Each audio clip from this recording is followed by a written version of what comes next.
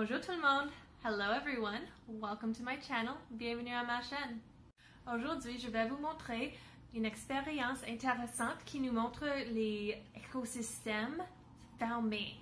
Today I'm going to show you an interesting experiment that will look at closed ecosystems. Un écosystème ou système écologique fermé est un écosystème qui ne réalise pas d'échange de matière avec l'extérieur. A closed ecosystem is an ecosystem that is closed off from any exchange of matter with the outside. Pour cette expérience, vous aurez besoin d'un pot de verre, le capuchon et une tasse. For this experiment, you will need a glass jar, the cap, and a cup. On va utiliser la tasse pour ramasser l'eau, le sol et des plantes d'un ruisseau ou étang près de vous. You're going to use the cup for scooping up water, sand, or mud, and some plants from a stream or pond near you. When you scoop the water and dirt, make sure to grab a variety and don't forget to add some plants. Quand vous ramassez l'eau et du sol, assurez-vous de prendre une variété et n'oubliez pas d'ajouter quelques plantes. Si vous n'avez pas un ruisseau ni un étang près de vous, ça va. Vous pouvez même l'essayer avec une grande flaque. If you don't have a stream or pond close to you, that's fine. You could even try this with a big puddle.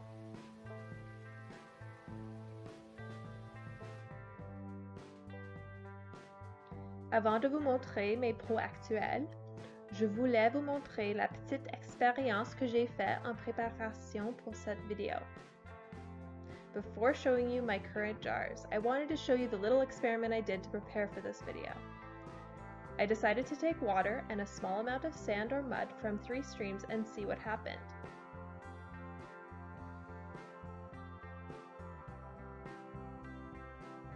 J'ai décidé de prendre de l'eau et un petit peu du sable ou de la boue de trois ruisseaux et voir ce qui se passe. Comme vous pouvez voir, même avec seulement un petit peu du sol, des petites plantes et des algues ont poussé et j'ai vu plusieurs petits vers et copepods. As you can see, even with just a little soil, small plants and algae started growing, and I saw many little worms and copepods.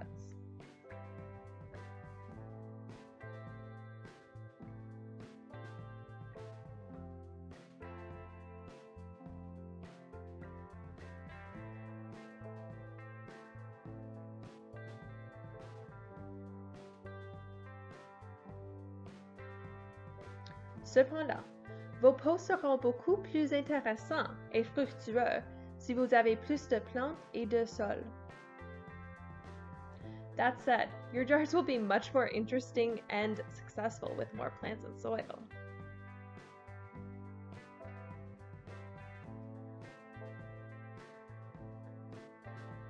Ce que je vais faire aujourd'hui, what I'm going to do today, is go add to these. So I'm going to bring them back to where I got the first sample. And I'm going to add more dirt, more vegetation, more plants, and see if it can be even better. Alors, je vais les rapporter aux places où j'ai pris ce, cette terre et l'eau et je vais essayer de mettre plus de sable au bout et tout ça et de mettre euh, plus de plantes. Finalement, voici mes quatre pots d'écosystème fermés. Here are my four closed ecosystem jars. Je vous tiendrai au courant pendant les prochaines semaines. I will keep you updated over the coming weeks. Alors, merci de m'avoir joint aujourd'hui, les amis. Et j'espère que vous allez essayer cette expérience vous-même. Et si vous voulez, j'aimerais voir ce qui se passe dans vos pots. Parce que, comme vous avez vu avec mes quatre pots, chaque pot est différent. So, thanks for joining me today, and I hope you try out this experiment yourselves. And if you want, I would love to see what your jars look like. Because as you saw with my four jars, every jar is different. Alors, à la prochaine mes amis. See you next time.